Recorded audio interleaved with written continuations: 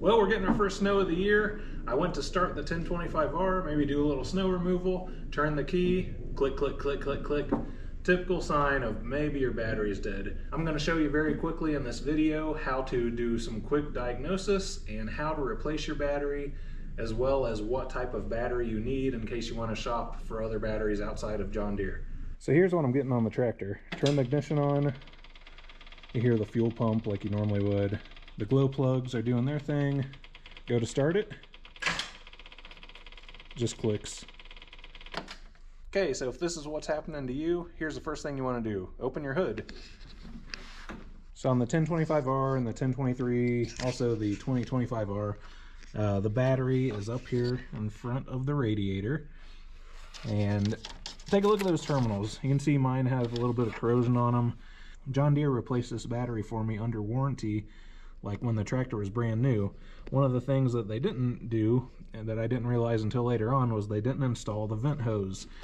So I've had some battery acid leak out of here into the bottom of this compartment. The first thing you want to do is take off the battery cables, clean the connectors on the end, and clean the terminals on the battery. Put them back on and if you're still having the same trouble, you might want to further investigate that battery. And I've already loosened my uh, connections for the battery, but I haven't loosened the battery itself. So there is a bungee that is connected on both sides. You're going to want to remove that. I'm going to go ahead and take off my cables. I did previously loosen my battery connection, so that's something you're going to need to do as well. Let's let those hang to the side. Now if you have the stock John Deere battery, you might have a strap on here. And that strap is right there. It was hanging on the side, but you just pull it up to the top and that's what you're going to use to pull the battery out. However, the way that John Deere designed this, you have to take off one of the headlights in order to remove the battery. So I'm going to show you how to do that. The first thing you want to do is remove the connector here from the wiring harness and just put it to the side. Uh, this is kind of like a reverse or a female Torx bit uh, what you need here. So I found this on Amazon. It was pretty cheap. I'll put a link down in the description. This is just a small set. All right, so in this set, this is an E5 socket. That's what's going to fit this. To remove this headlight, we need to remove these studs here. So I'm going to use my E5 socket that I just showed you. Okay, so after you've got those studs loosened and removed there, we're basically going to angle this side out and pull the headlight this way. Just like that. Okay, now that that headlight's out of the way, we're going to grab the strap from the battery and just pull it up. Bring it over here.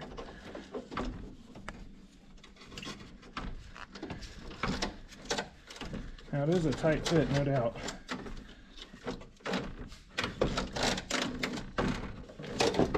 Who would design something like this? I know that this can be done by taking just one headlight off because I've seen other people do it that way. However, just to give myself some more room, I'm going to go ahead and remove these studs on the other headlight so I can take it out of the way as well. There we go. There's a lot of stuff competing for your space in there. So now we've got the old battery out of there. You can go to your John Deere dealer and buy another Strongbox battery, which is their brand.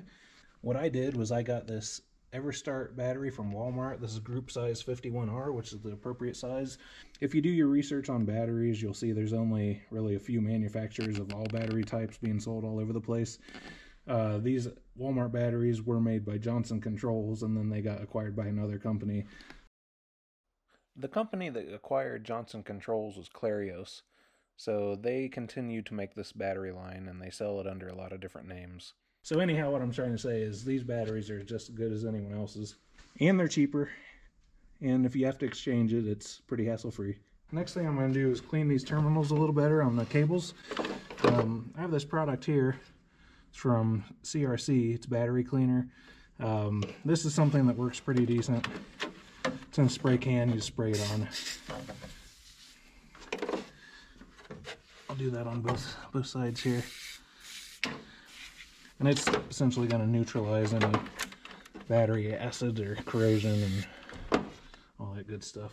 So using a product like the CRC battery cleaner, um, it works. You can also use something as simple as just boiling hot water, or you can also use water with a baking soda mixture. All right, now after I've let that cleaner sit on there for a little bit, I'm just gonna take some hot water, rinse those off. Same with the other side. Okay, so next I'm gonna drop the new battery into place. You just kind of want to get the cables and stuff out of the way best as you can.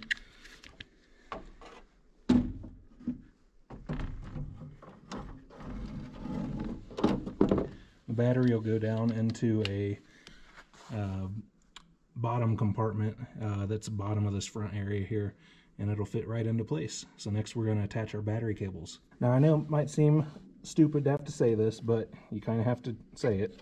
You got to remove these caps. I've seen people put their battery cables on there without remo removing the caps and then they wonder why nothing works.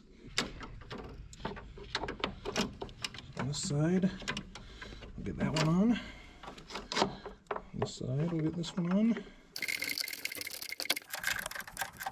All right, so I got another product here that I like to use. This is CRC Battery Terminal Protector. The sprays on there on the both of the terminals and battery cables and it'll kind of give it like a red coating and that helps to prevent any future corrosion. I'll put a link to this in the video description as well.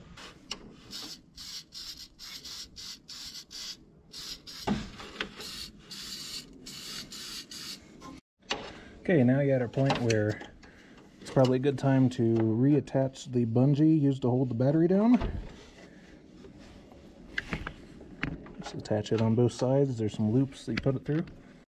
Okay, now that we're at this point, we're going to put our headlights back in. Basically slide it back into the area where it was originally. And then we're going to screw those studs back in. Once that's slid in there on the left of the screen, now we're going to do the studs over here. Alright. Once you have both your headlights back in there, you're going to reconnect the wiring harnesses to your bulbs.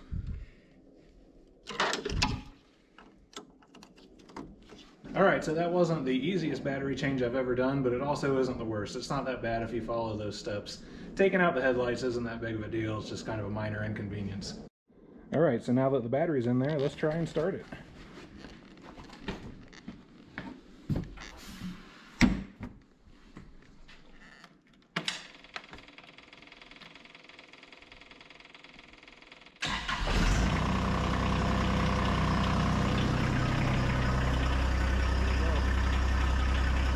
Right, if you're a 1 Series owner and you like these types of videos, I make videos about my 1025R as well as my other tractors.